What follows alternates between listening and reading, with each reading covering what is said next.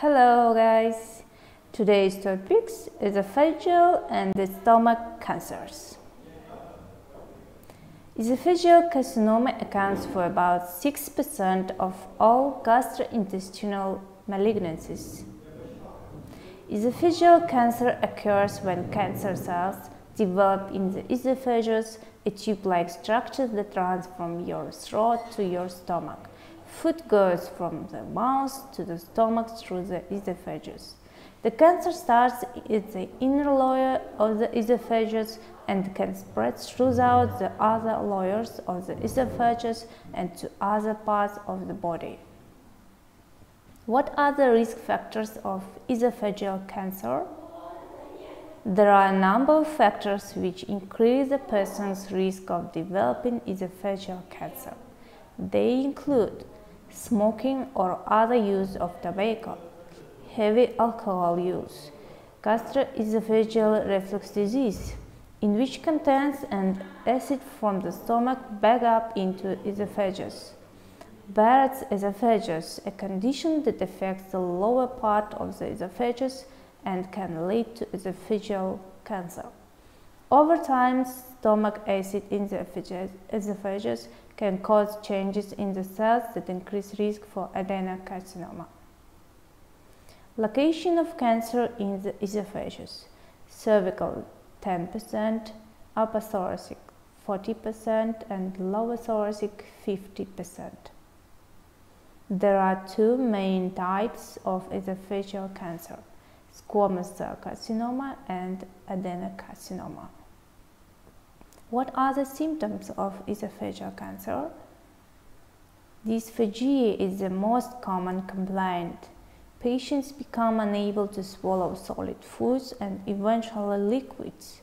Symptoms rarely develop until the esophageal lumen is greatly narrowed and metastases have occurred.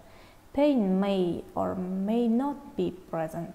Physical findings, cachexia, palpable supraclavicular lymph nodes or hepatomegaly.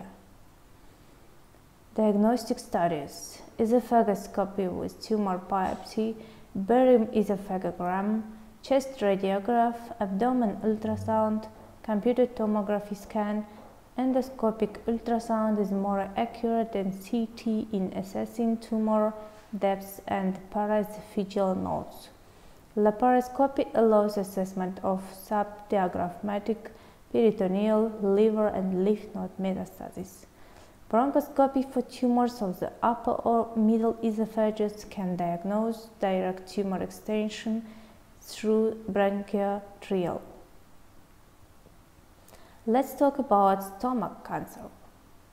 Stomach cancer, also known as gastric cancer, is a cancer that develops from the lining of the stomach. Where are the high incidence areas of stomach cancer in the world? The highest incidences are found in East Asia, Japan and China, Eastern Europe and South America. What is the etiology and risk factors?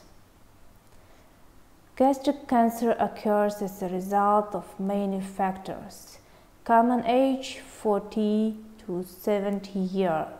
It occurs twice as commonly in males as females. Diet low fat or protein consumption, salted meat or fish, high nitrate consumption.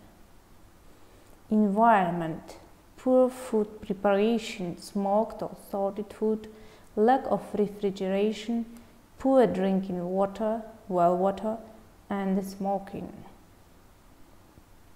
Social, low social class, of course, except in Japan. Medical, prior gastric surgery, Helicobacter pylori infection, gastric atrophy and gastritis, adenomatous polyps and male gender and edematous polyps. Again, Helicobacter pylori. Presence of IgG to Helicobacter pylori in a given population correlates with local incidence and mortality from gastric cancer.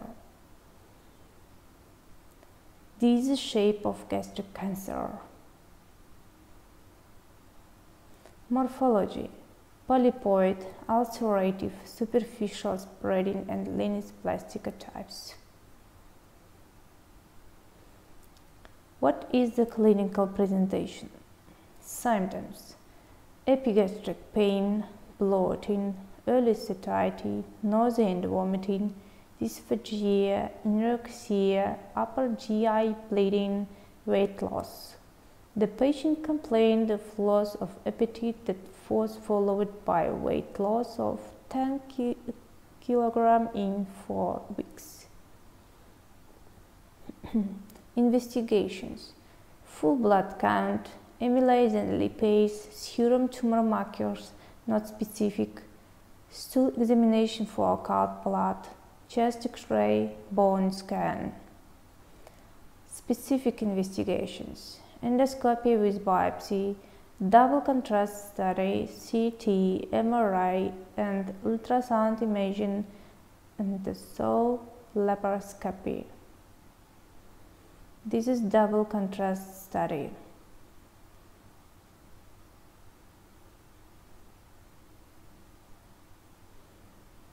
Endoscopy is the gold standard of diagnostic of cancer.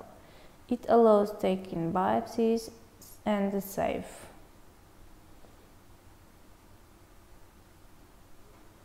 CT, MRI and US help in assessment of wall thickness, metastasis, peritoneum, liver and lymph nodes. Laparoscopy detection of peritoneal metastasis.